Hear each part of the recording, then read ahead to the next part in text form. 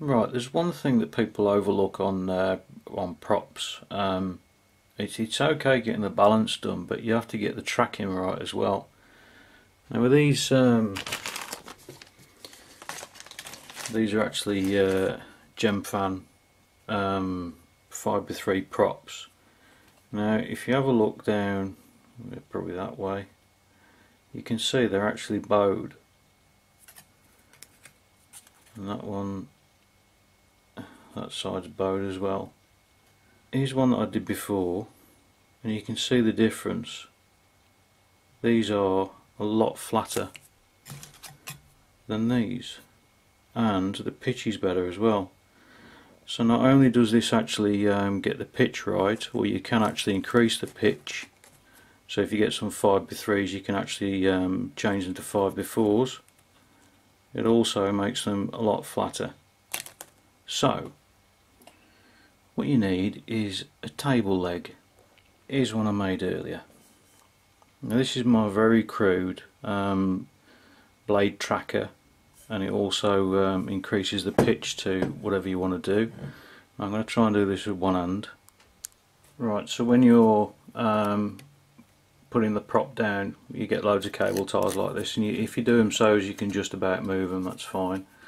When you're putting the prop down you need to put it behind where the the zip part is because if you, you just won't get it down any other way. Not cleanly anyway. It's the only way I've found is you put it right down the edge.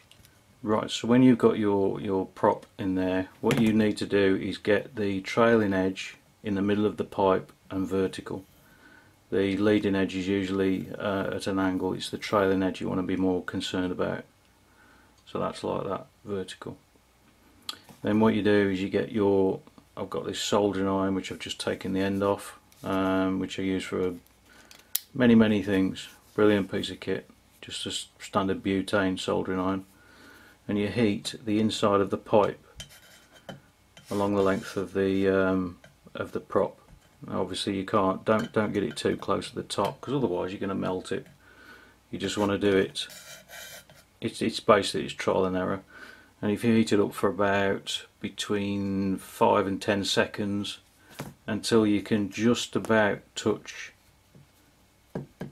um, the pipe. If you don't let the pipe cool down long enough then when you pull it out your, your prop's going to be all stupid angles so you've got to be careful with that.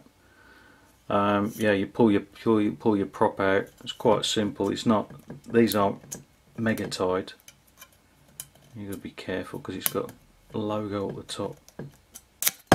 So yeah so it comes out like that and you get a perfectly tracked prop. And also the pitch is better. So like I say the smaller the pipe um, the bigger the pitch. Simple